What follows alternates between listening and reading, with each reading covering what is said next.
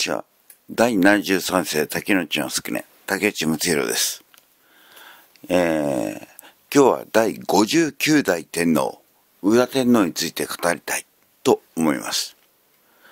えー、宇田って名前を付けられたのも珍しいですね。えー、ですが、こちらは地名です、本来は。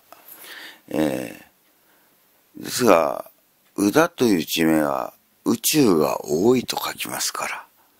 えー、なかなか意味深ですね。そしてこの人の側近は、黒殿と秘書官長、黒殿とである菅原道真。天神様です。天神様です。天神様です。えー、天神様なんですよ。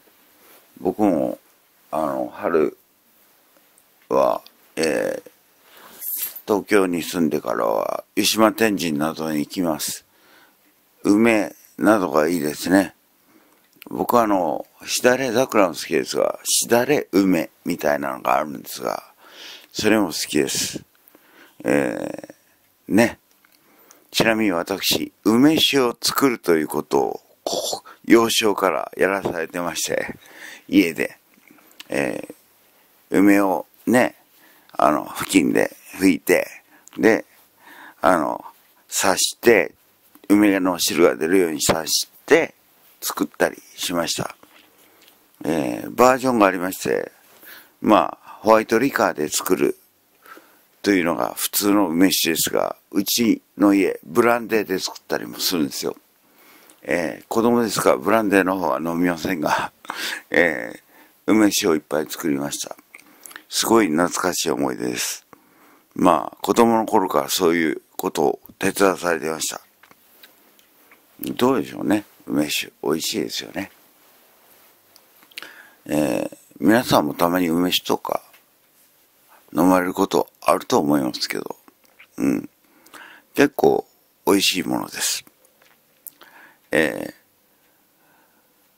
ー、でも小学校の頃から梅酒を飲むと、なんかこう、冷静に考えるとまずいような気がしますね。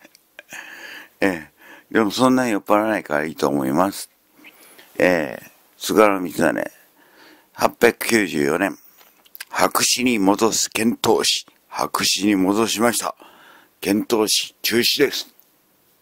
なぜか。道真は優秀だったから、菅原道真を党に派遣して、もう日本から追放しようとしたんです。それに対して、道真は逆に、もはや党から学ぶものはもうないって言って、遣唐使を廃止しました。うまいやり方ですね。えー、この道真にあったことは、えー、実はその2年前に、あまりにも優秀だったんでやってしまったことがあったんです。2年前っていうのは792ですよ。白紙に戻す検討士の2年前にやっちゃったのが、類重国史編纂です。類重国史。類重国史。すべてを集めた国史。第200巻です。200巻を作ったんです。すべてをまとめ直したんです。これはどういうことかというと、過去の歴史をまとめ直したんです。はっきり言いましょう。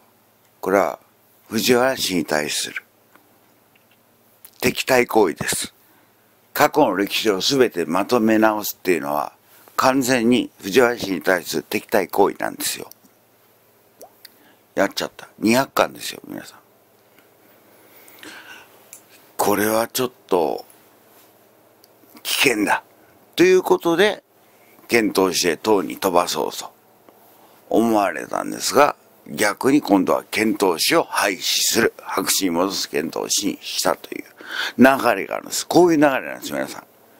実は過去の歴史を全部握ってたはずの藤原氏が、過去の歴史を全てまとめ直した菅原道真ができてしまったために、これを排斥しようとした。だったら検討したと。通用しようと。中国に送ろう。ということになったんですが、道真は遣唐使はもはや必要はありません。もはや必要はありませんって言って、遣唐使を廃止したんです。えー、これが、この頃の出来事です。えー、もう一つあります。実は藤原氏にとって、ちょいとムカつく出来事がありました。藤原氏はもともと中富一族、神主の家柄です。その家柄にとって絶対重要なものがあったんですが、まあ、四法を廃する、下廃。えー、これをですね、天皇の、天皇がやる。他の人にやらせないっていう、そういうラインを作ったんですね。890年のことです、これ。えー、今日はちょっと逆に遡っていってますけど、ヨモハイがあります。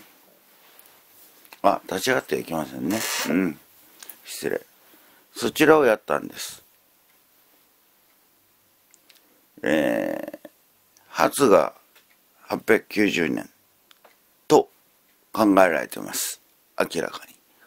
えー、これ実は代理なしです。代行なし。天皇がやるということです。ですから、難しいんですけどね。あの、天皇はこれやるとすごい大変なんですよ。寝れないんですよ。ずっと。という、えー、ことが始まりました。今回、えー、もうすぐ平成上皇になられますが、金城陛下は、これだけは絶対自分でやるっていうことで、接種を起きませんでした。大政天皇の時は接種を起きました。昭和天皇、広仁親王その当時の摂政に置かないともう国事回りませんって。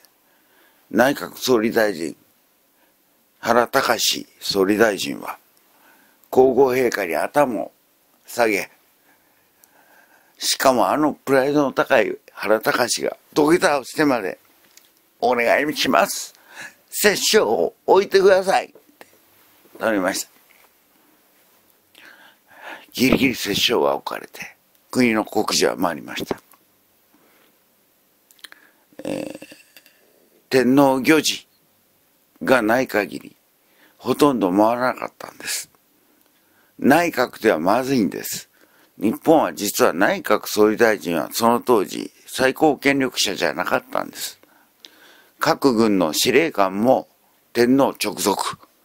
みんな天皇直属だったんで、天皇の御事がなければ回らなかったんです。だから、だから摂政が必要だったんですね。えー、そして一番笑ってしまうのはこの宇田天皇は元進化です。源定美君っていう名前の人でした。一応、天皇家の人ですよ。一員ですが、源氏なんです。でも、同僚が陽勢天皇に目の前で殴り殺されたことがあったんです。そんな結果、天皇になりました。天皇になった宇田天皇、新しい天皇はどんな顔をしているのかなってえー、元の天皇、陽勢天皇が見に行ったとき、定みではないか。え自分の部下です。が天皇位についてたんです。そんなことがありました。えー、この歌天皇は菅原道真と仲良く、えー、天下を治めました。えー、まあ、天神様お参りするときに、えー、なんとなく宇田天皇のことも思い出したいものです。私は菅原道真も嫌いではありません。うん。この方ちょっと面白いか次の回に喋ります。では。